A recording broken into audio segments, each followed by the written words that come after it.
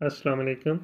हमारा जो छठा लेक्चर है, वो वावल ई शॉर्ट ई का है। Short E is represented by a light dot and is the second place vowel यानी वो इसमें कह रहा है कि शॉर्ट ई को जो रिप्रेजेंट किया जाता है लाइट डॉट के थ्रू रिप्रेजेंट किया जाता है। और ये सेकंड प्लेस वावल है।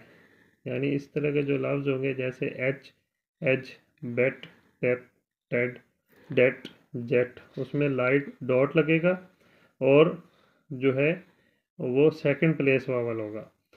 और इसमें उसने नीचे नोट लिखा था first stroke rest on the line write the consonant outline first and then place the vowel sign यानी वो कह रहा है कि जो कॉन्सोनेंट आउटलाइन जब आप लगाएँगे तो पहले कॉन्सोनेंट लाइन आउटलाइन लगाएँगे स्ट्रोक लगाएँगे, उसके बाद वावल साइन लगाएँगे। जैसे मैंने पहले भी आपसे अर्ज़ किया था कि पहले हम जो है वो स्ट्रोक लिखेंगे, उसके बाद वावल प्लेसिंग करेंगे। तो ये आज का हमारा लेक्चर था। इसके साथ मैं एक चीज़ और ऐड करूँगा। आपको ये बताऊँगा कि एक दोबारा से मैं बताता हूँ कि सेकंड प्लेस वावल है और लाइट डॉट के थ्रू रिप्रेजेंट किया जाता है। और ये भी जो है ऑन द लाइन आएगा। यानी इसमें जो शॉर्ट ही है वो जो उसको हम एक्सपेंड नहीं कर सकते।